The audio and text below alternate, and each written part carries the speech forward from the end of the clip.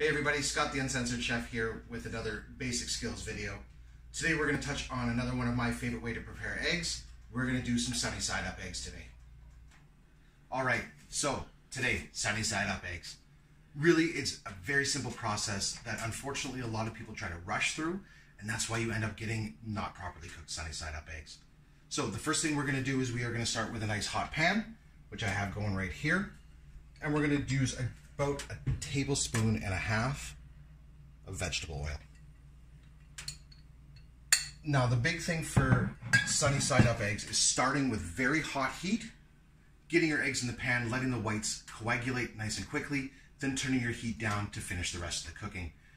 Because we don't want to cook that the yolk all the way through and we want to keep it really nice and runny, but we want the whites to be fully set. We really need to control our heat. That's a very important part of the cooking process here. So now that we've got our pan nice and hot and that oil is good to go, get it all over the pan. And again, we're just gonna take our eggs. So using one egg to crack the other for the first one. And right in we go. And you can hear right away that our pan is nice and hot. So it's gonna coagulate those whites really nice and quickly. We're gonna put the second egg in right beside it. Now, basically, as soon as you get those eggs in and the whites stop running and, they, and they'll start to cook, we're going to turn our heat down from a high to a, just a little below medium high heat. Now, you can take your spatula, and I do always recommend cooking eggs with a spatula. It's something that we've done in kitchens for a long time. It just makes things a lot easier. It takes a little while to get used to, but once you do, I think you'll find it's a lot easier for you as well. So my pan is nice and oily, so we get a good movement on there. But now what we're really going to do is we're just going to let these cook.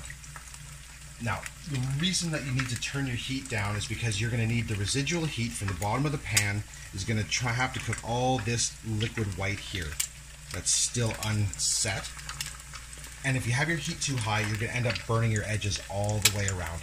So we're just going to keep that nice and light and just kind of let it do its thing right now. We're just going to let it cook, moving it around a little bit just to get a little bit more heat distribution.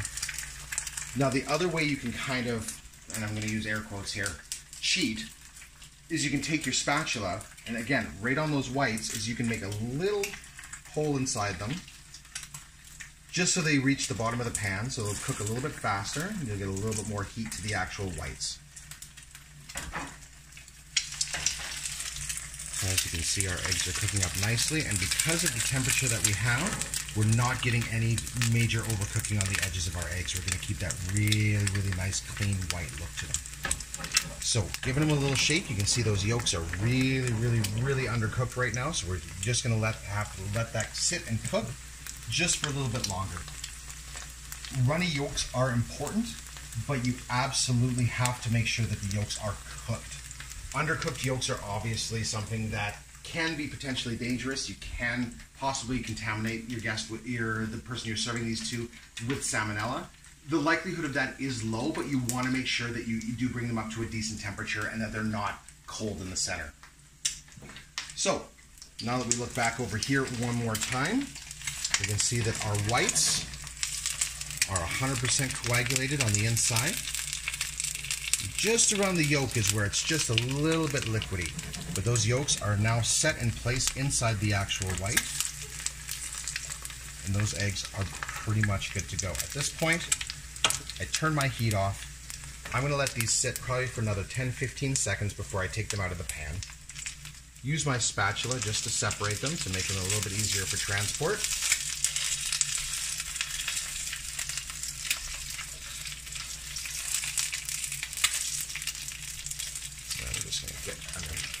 Here.